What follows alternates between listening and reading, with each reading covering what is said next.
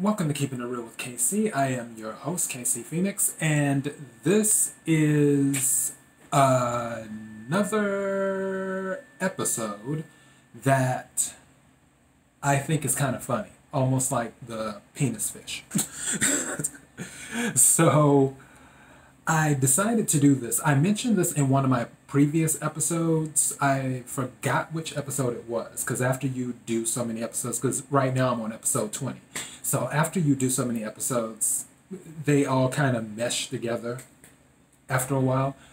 But I know that during the episode, I mentioned being real and being fake. I think it was on the Friends episode, if I'm not mistaken, the reason why I don't have many friends. Um, but, anyways, and I said during that episode that the being real and being fake, um, or being polite and being fake, I should say, are two different things.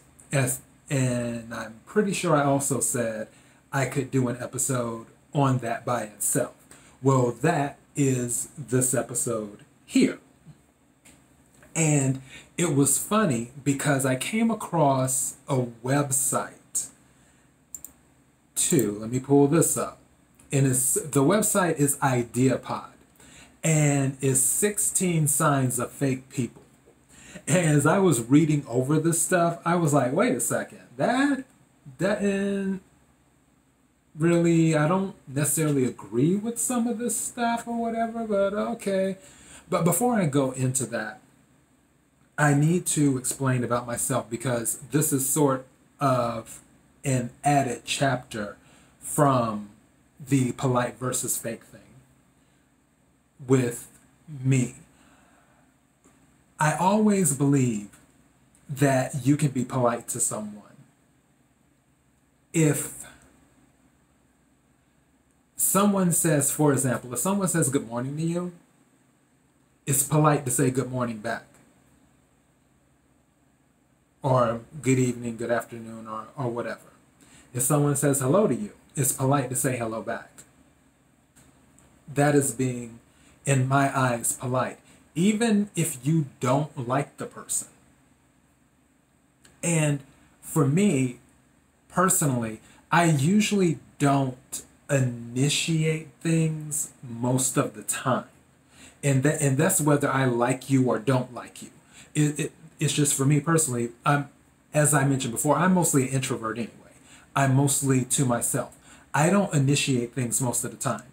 Even if I like you, I may come into contact with you, but if it's not for a long period of time, then I may not necessarily greet you. It, it just depends. Also, it depends on what my mood is that day. There's a lot of variables in play when it comes to how I deal with people. However, when someone does say hello to me, whether I like them or dislike them, or whether I love them, or I can't really think of anybody I hate. But even if I were to hate someone, if someone said hello, I would more than likely say hello back, just to be polite. My personal belief on being fake is when you go above and beyond, where if let's say I someone I don't like greets me, and they're like, "Hi," and I'll be like, "Oh, hello." That's me being polite. Fake would be, "Oh, hi. How are you? Oh, great. How are the kids doing? Oh, such a." And I'm starting a conversation about stuff I don't give a damn about, which usually I don't give a damn about most stuff anyway. But and most people know that about me but it's rare that I'm going to go in asking 20 questions. And that's what I feel is fake. If you don't like somebody, if you don't rock with somebody, why have these long drawn out conversations with 20 questions and stuff? If I don't like you, I'll be polite and listen to you because that's just being polite. I'm not being fake. And if you ask me whether I like you or not, I'll tell you no, I don't really too much care for you. I'll I'll just but most people aren't brave enough to ask that. Cuz most people know me. The people who do know me know that I'm very direct and honest person. You ask me a question, I'll give you an answer. Um but fakeness is when I feel people just go overboard. Or if somebody is wearing something that is not flattering, and again, when it comes to looks and fashion and everything else, it, it's all subjective. You know, what, as saying goes, one man's junk is another man's treasure. But even though it's subjective, with that on the table,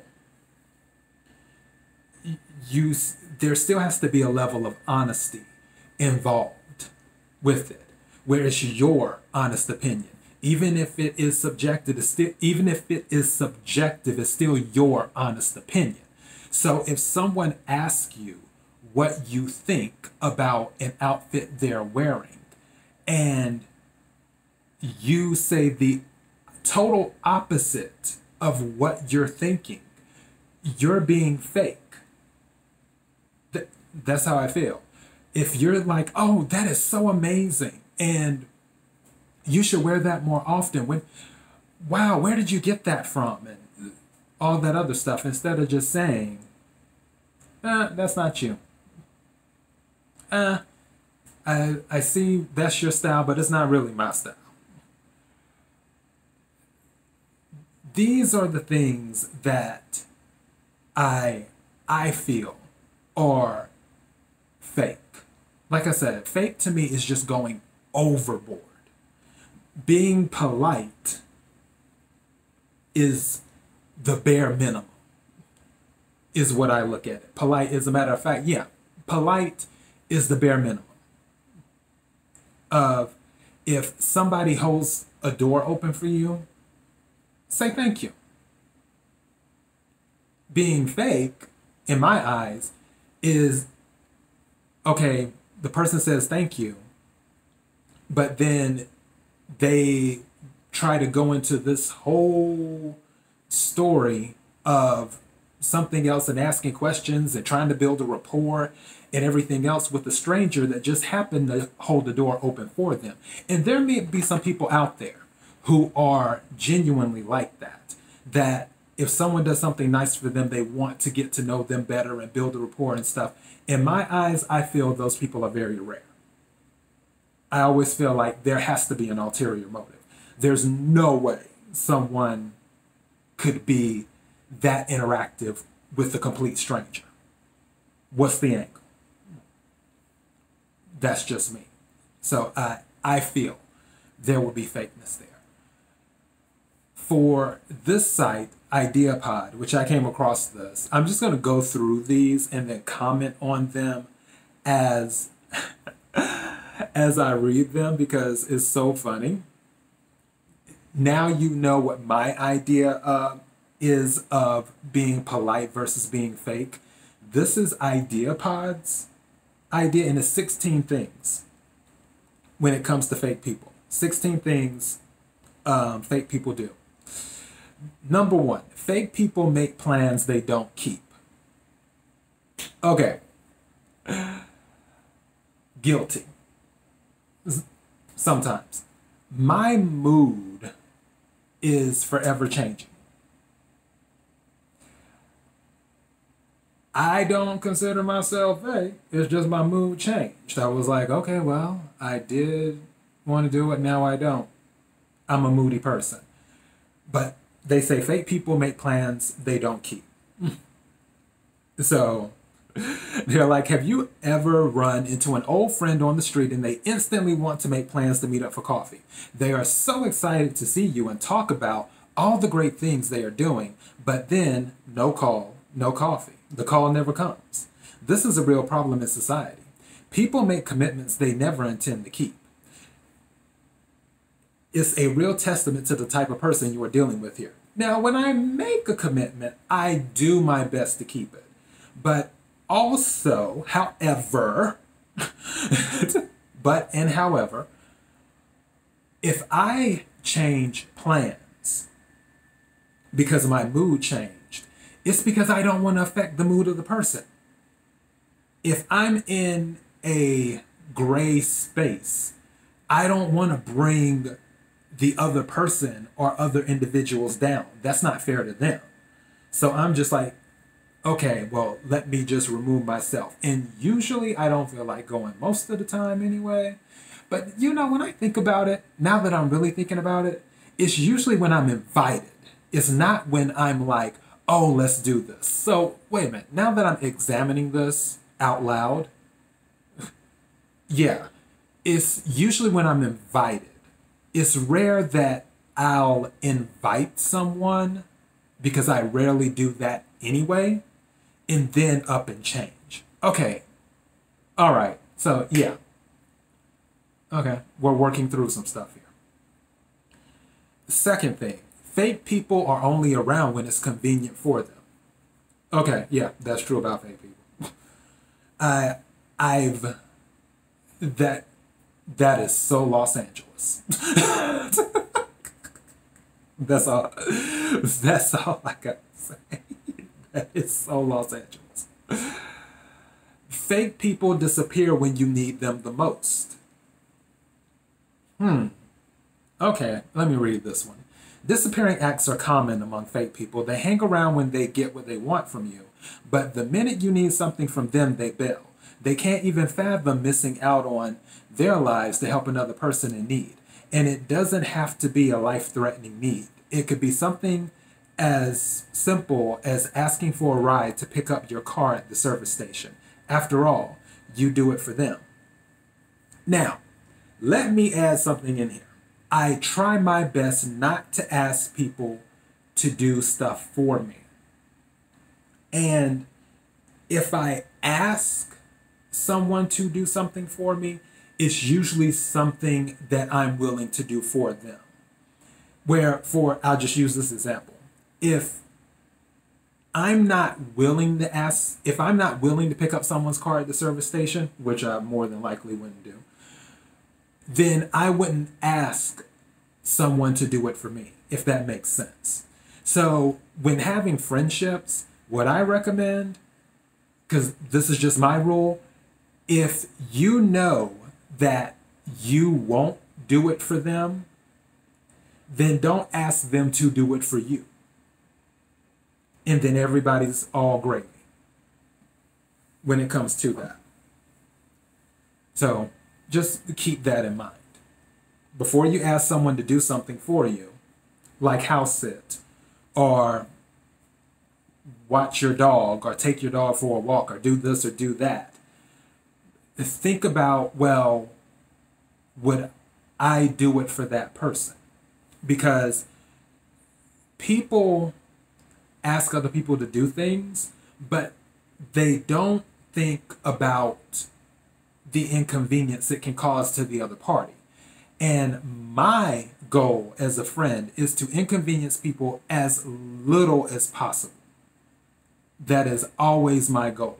Because one of the best things I ever heard was from my god sister, who lives in Brooklyn.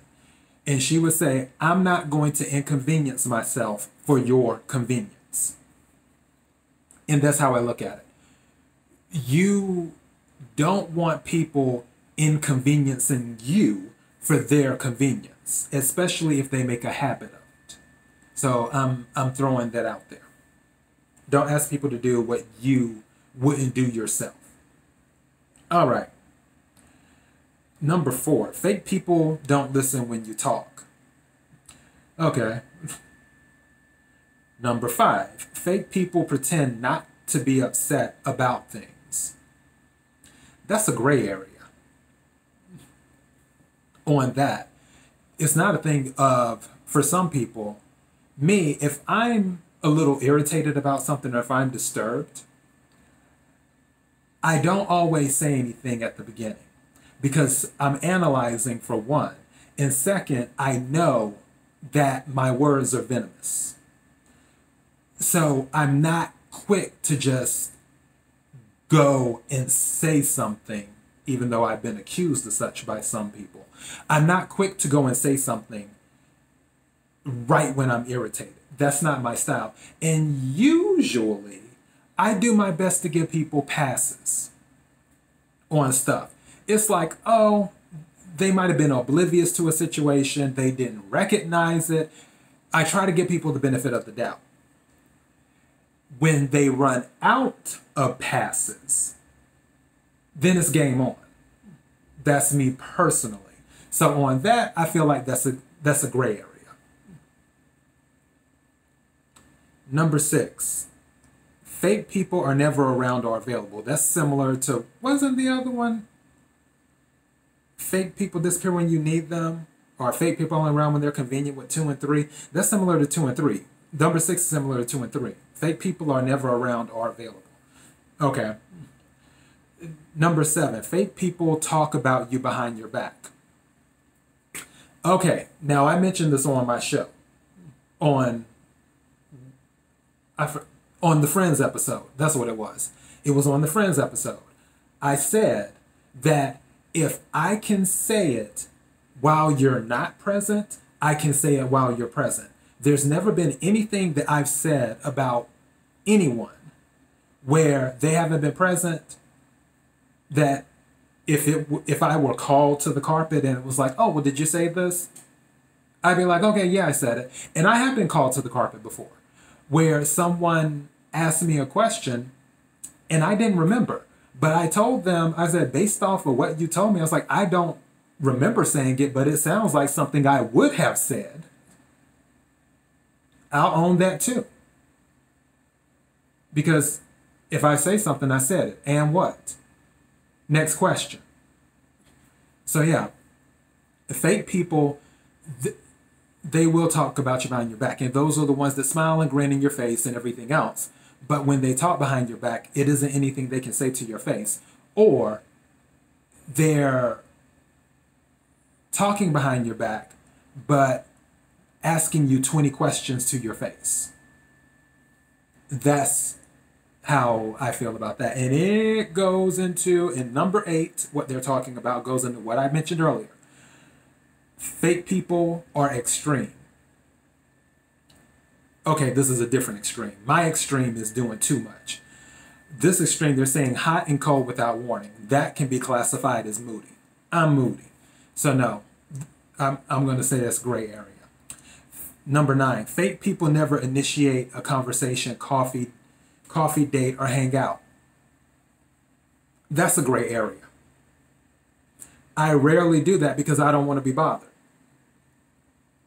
And there isn't anything fake about me. And I'll tell you, again, I don't want to be bothered. So I'll talk to you on the phone, I'll text you, but going out and doing this and doing that, no. So, and if that's the issue, oh well. Okay, number 10 Fake people pretend to try to please everyone. Okay, now that's interesting. Let me read this. Fake people are in, const- in a constant state of juggling balls they can't possibly keep in the air. They will try to say yes to everyone because they can't stand rejection or the idea they may not actually be able to do everything they say they can. Instead, they promise things, say yes, and then many people are left out in the cold when the fake person doesn't deliver. Keep an eye out for these kinds of people and start the process of replacing them with people you can trust and can get to know for real. Hmm. That's interesting.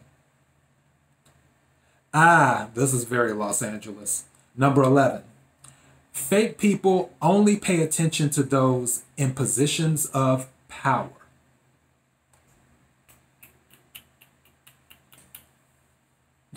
Yeah, as I mentioned before, I don't care who you are. If I'm cool with you, I'm cool with you. I'm, I'm going to rock with you. It doesn't matter what your position is. Like, I don't need your energy. My, I'm energy incarnate. I have my own energy. I don't need to ride anybody else's. So, yeah, fake. this one right here, let me read this. If someone is fake, they are likely looking for an e- for an easy answer or the easiest route to the top. You'll often see people in your work setting who prove to be fake because they only care about things when the boss comes around. They are the quintessential brown nosers, and once you are on to the, these people, it's not hard to confirm your suspicions. The problem with fake people is they don't respect you. That's why you need to embrace your inner beast and become a more powerful person. Mm-hmm. Find out how on in our free master class. okay, so IdeaPod has a master class on embracing your inner beast. Number 12. Fake people work overtime to build or find relationships. I'll read this. When someone is being genuine, it's easy to become friends with them, and it's even easier to find yourself attracted to them. This is because, as you might come to find out, most people are not really showing you their true selves. So when you find someone who is being real, you'll find it incredibly enticing. So watch for people who have to work really hard to connect with other people. Mm. Okay, that little sentence there, that's a gray area for me because it's not easy for me to connect with other people. Even though I will say, people, I mentioned this before, people for some reason just tell me all of their information. And I don't know if it's because they know I'm good at keeping secrets or if I just give off that energy or what. But yeah, but at the same time, when I'm in a room, I intentionally come off very standoffish because I want the walls and the barbed wire and the rabbit dogs and everything else, metaphorically, in front of me where it's like, please don't come talk to me. And then we go through the process of, okay, well, they made it through all the booby traps and everything else. the Indian, I don't know if anybody's seen Indiana Jones and Temple of Doom. They made it through all of that stuff. So yeah, you get the treasure, which is my friendship. Um, I, that's a great area. This sentence is a great area. When it, um, when they say so, watch for people who have a really hard time, who have to work really hard to connect with other people, because um, it's not easy for me. One is because it's intentional, and the other is I just, for, for the most part, I'm usually not that interested. so yeah. All right. Um, fake people have a really hard time making friends, or more importantly, keeping them. Yeah, another gray area it usually doesn't take long for people to find out that they are not who they said they were. Okay, now no, that that part definitely doesn't apply. Okay. Number 13, fake people seek attention to validate themselves. Huh.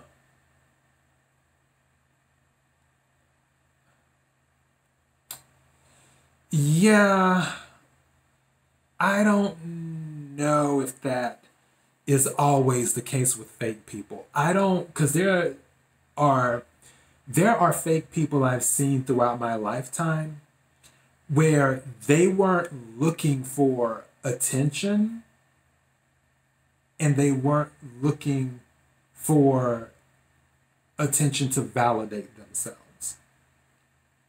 They they're just looking, like I said, to get ahead or to see what they can get.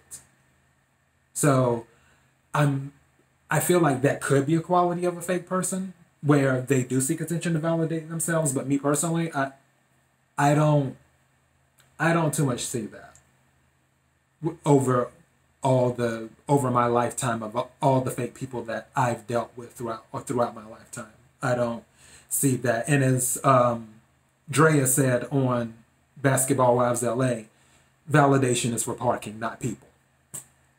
So, yeah, that's how I feel about validation. Number 14, fake people distract from their fakeness with gossip. Hmm, there could be some truth in that. with someone being fake. Um, maybe if fake people could do that. I don't know. Let's see. A sure sign that someone is being fake is if they spend most of their time talking about other people. And we're not talking about good conversation, we're talking about gossip. The most destructive kind of conversation there is. If you find yourself face to face with a good old fashioned gossip at the office, over coffee, or on the street, there's a good chance they are trying to distract you with someone else's nonsense so you don't see theirs. Hmm. Number 15. Fake people like to show off in front of, of other people. Yeah, there's gray area there. I reaching through my life experiences.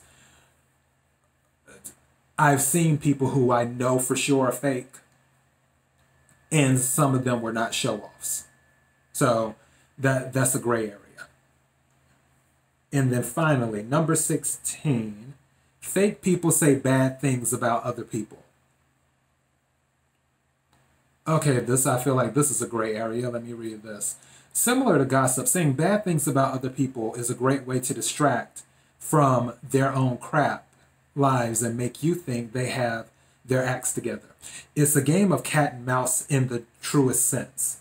They spit on some BS about someone and you chase after that inf- and you chase after that information trying to validate it instead of trying to validate their story. Okay that is a gray area to me because some things are subjective. First thing, the truth isn't always pretty. The truth is like rain, it doesn't care who it falls on. if someone says something that is true, it in categorized as bad is still true where's the problem? I I don't get it. As long, as long, go back into and I can't believe this is almost 30 minutes long.